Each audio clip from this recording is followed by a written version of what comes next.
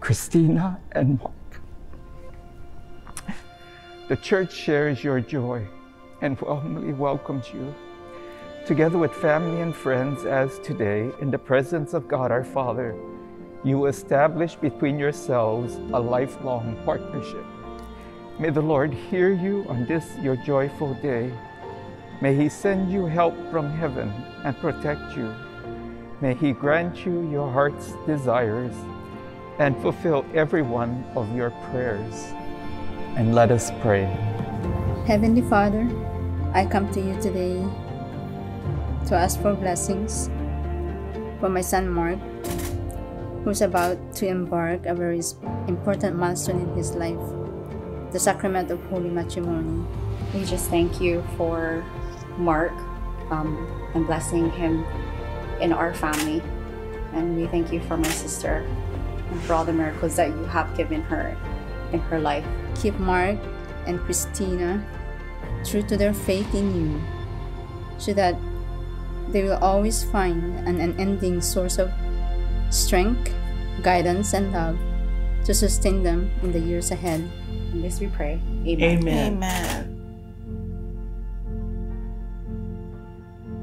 I found you. Two worlds collided.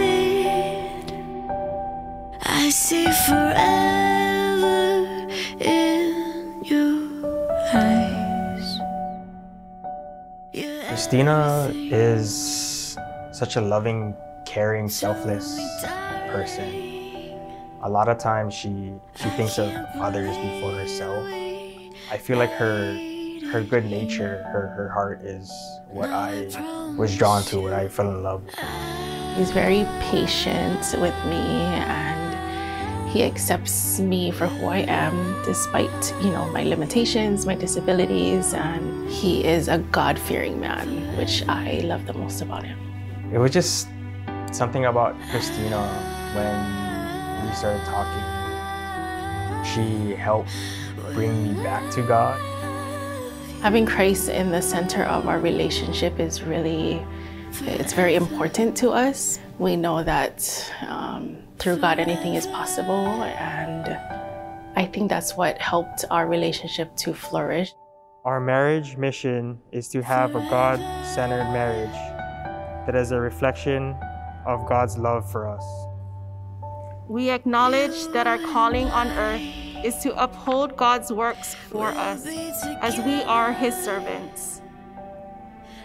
We pray our relationship is centered with faith, grace, love, hope, patience, and forgiveness as Christ does for us every day. We pray that our marriage will bring glory to God by manifesting Christ's love for us to each other, to our families and friends, and to the world. I, Mark, take you, Christina, to be my wife. I, Christina, take you, Mark, to be my husband. I promise to be faithful to you in good times and in bad, in sickness and in health, to love you and to honor you all the days of my life. May the Lord in His kindness strengthen the consent you have both declared before the church and graciously bring to fulfillment His blessings within you. What God has joined, no man must separate. Today, we may not have the fanfare of Guadalupe, but in God's eyes, He shines His graces upon you today because you are faithful and true to His calling, and you are willing to meet the challenge. After five years, we're finally here, and I'm excited to share new memories with you and looking forward to uh, calling you my wife. I love you.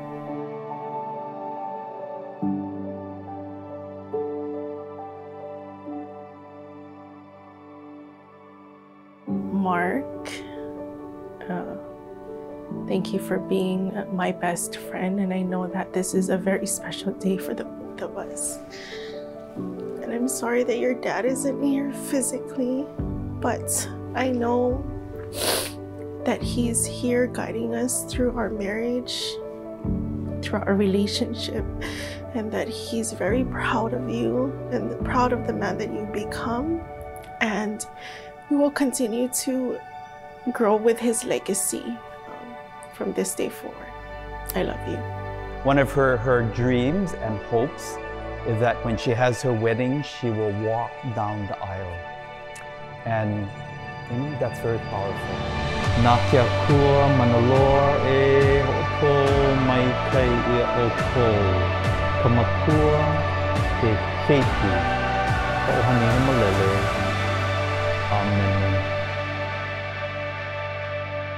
I just, you know, just want to thank you for like accepting me for who I am because, you know, after my accident, I didn't know that I'd be uh, where I am today. I pronounce you husband and wife. You may kiss the bride.